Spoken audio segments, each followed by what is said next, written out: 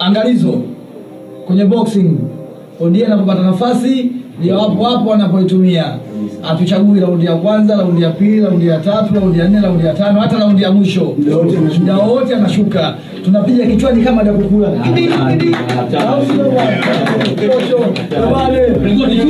Bendera chuma. Huyo ni bondia Mfaume Mfaume, na hiyo ni video aliyoweka katika ukurasa wake wa Instagram akiwa na bondia mwenzake Twa Kasim Ruba au Twa Kiduku.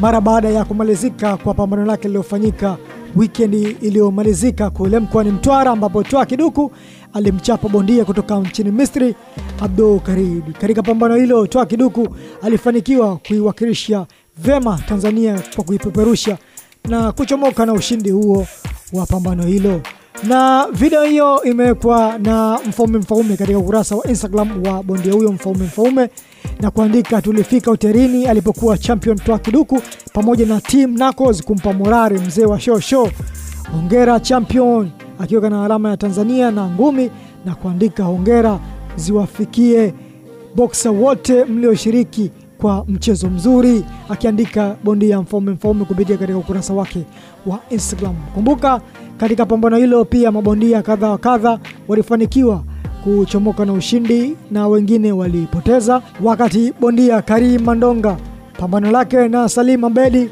lilifutwa kufuatia kwa kile kilichoonekana kwamba refali hakuumudu mchezo huo. Kumbuka bondia Karim Mandonga anasifika kwa mbwembwe zake awapo nje ya uwanja, lakini ndani ya uwanja akiwa amepoteza mapambano kadhaa.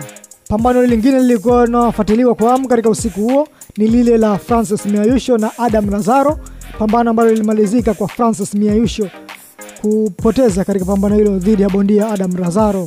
Lakini pia bondia mwenyeji kutoka mkoani Mtwara, hapa namzungumzia Osama Alabi, yeye pia alipoteza dhidi ya bondia Emiliano Polino katika pambano ambalo bila shaka watu walifurahi kwa kile ambacho bondia Osama Arabi alikionyesha licha ya kupoteza.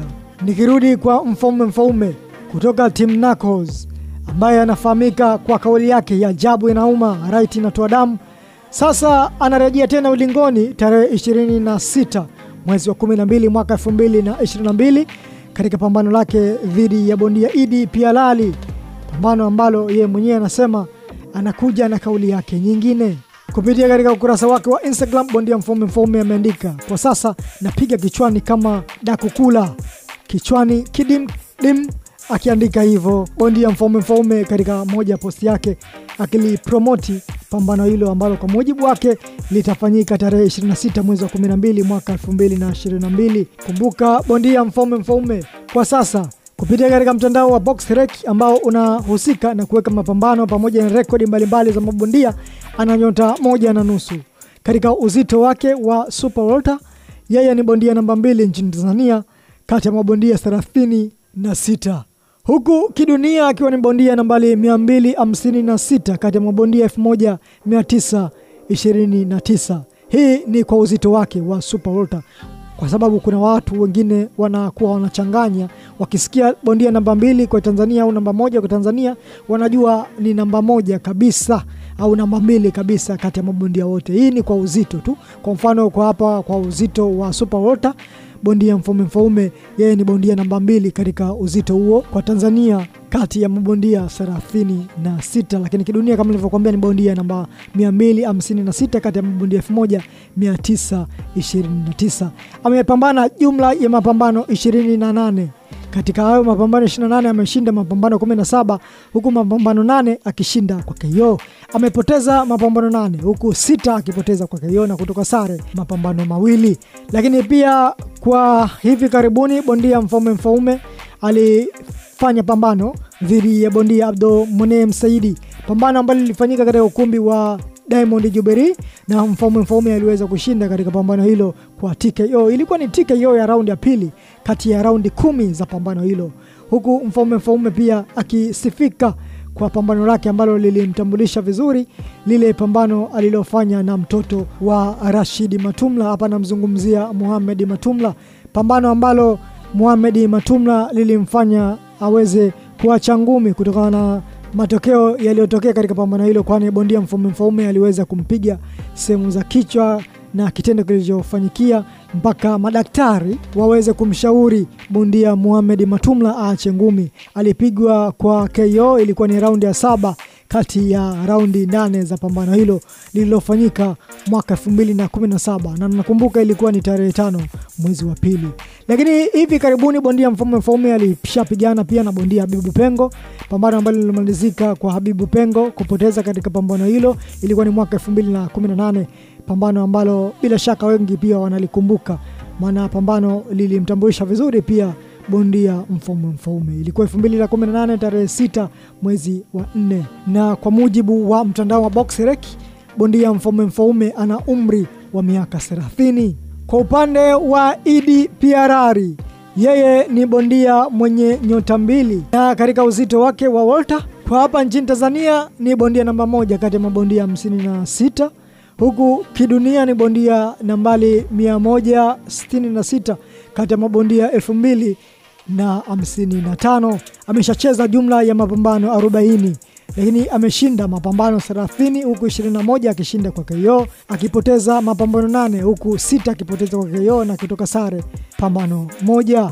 Kwa umri ana miaka 28 kwa mujibu wa mtandao wa BoxRec, na pambano lake la mwisho alipoteza dhidi ya bondia Solani Mbege na alipigwa kwa TKO katika raundi ya pili katika raundi kumi za pambano hilo lililofanyika tarehe 30 mwezi wa sita mwaka huu elfu mbili na ishirini na mbili. Idi Piarari pia anakumbukwa kwa pambano lake alilofanya dhidi ya bondia Anel Tinampei, pambano lililofanyika tarehe 28 mwezi wa 11 mwaka 2020 ambapo Tinampei alipigwa katika pambano hilo na Idi Piarari na lilikuwa ni pambano la raundi nane ambapo Tina Mbeya alipoteza katika pambano hilo kwa pointi. Sasa Idi Piarari anakwenda kupambana na bondia Mfaume Mfaume, mzee wa ajabu inauma right inatoa damu. Kwa mujibu wa BoxRec, kama nilivyokuambia, Idi Piarari ana miaka 28 na jina lake kamili ni Idi Salum Piarari mzee, akifahamika hivyo. Sasa nini mtazamo wako kwa kile ambacho nimekuzungumzia hapa, nikisoma pia maoni ya watu kadhaa kwa kile ambacho amekiandika bondia Mfaume Mfaume. Nisome maoni ya watu wachache tu kwanza kwa kile ambacho amekiandika bondia Mfaume Mfaume kutoka na posti yake aliweka video akiwa na bondia Twaha Kiduku na kusema kwamba anampongeza kwa yale matokeo aliyopata kwa kumchakaza bondia kutoka nchini Misri. Chungwa Live akiandika asema, baba una mchango mkubwa sana kwa mabondia wa sasa, akimwandikia katika ukurasa wake wa Instagram.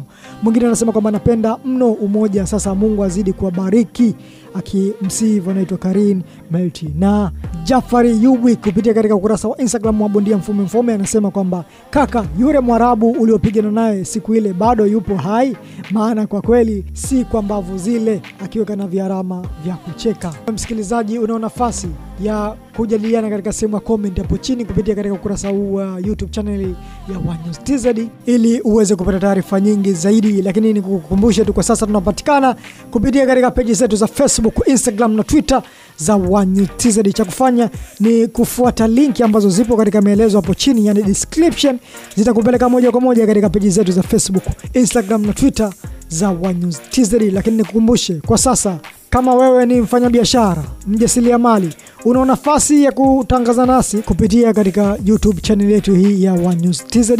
Cha kufanya ni kutuandikia ujumbe mfupi au meseji, kutu DM katika peji zetu za Facebook, Instagram, Twitter, kutuachia mawasiliano yako, nawe tutawasiliana nawe ili uweze kufahamu namna gani unaweza kutangaza nasi hapa kupitia katika YouTube channel yetu ya One News TZ kwa bei nafuu zaidi.